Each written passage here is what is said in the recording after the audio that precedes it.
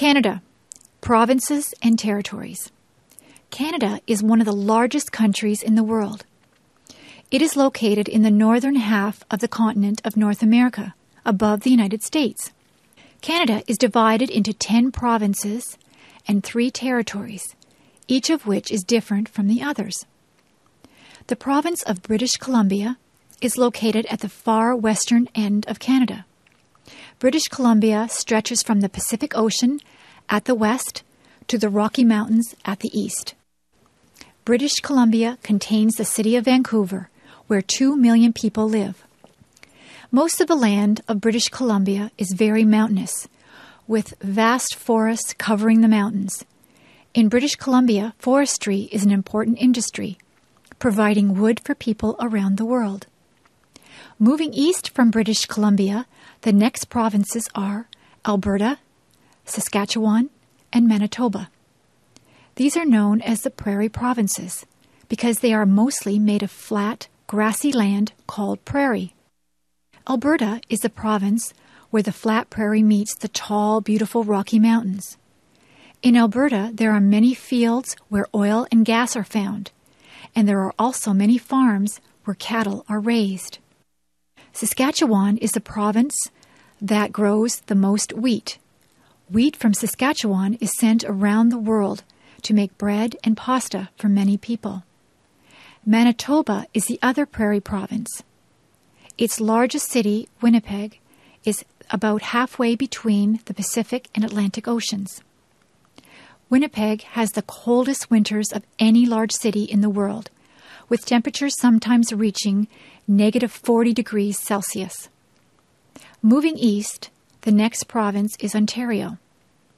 The land in the northern part of Ontario is very rocky and contains many thousands and thousands of lakes. Many mines are found in northern Ontario. In the southern part of Ontario, there is good farmland, and there are also many cities where factories produce cars and steel.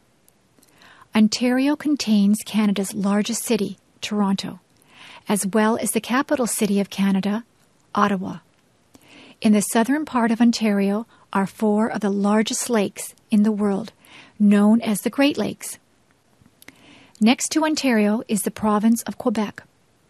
Unlike the other provinces where most people speak English, most of the people in Quebec speak French. The capital of Quebec is called Quebec City, and this is one of the oldest cities in North America. Quebec City contains many buildings that are hundreds of years old. Also in the province of Quebec is the city of Montreal. Of all the French speaking cities in the world, only Paris is larger than Montreal. In the eastern part of Canada are the Atlantic provinces, which are next to the Atlantic Ocean. These provinces are New Brunswick, Nova Scotia, Prince Edward Island, and Newfoundland. In the Atlantic provinces, fishing is an important industry. Tourism is also important, as many people come to see the beauty of these provinces. The people in these provinces are said to be the friendliest in Canada. In the far north of Canada are the three territories that lie beside the Arctic Ocean Yukon, Northwest Territories, and Nunavut. Many of the people in these territories are the native people of Canada, known as the Indians and the Inuit. The northern areas have very cold, dark winters.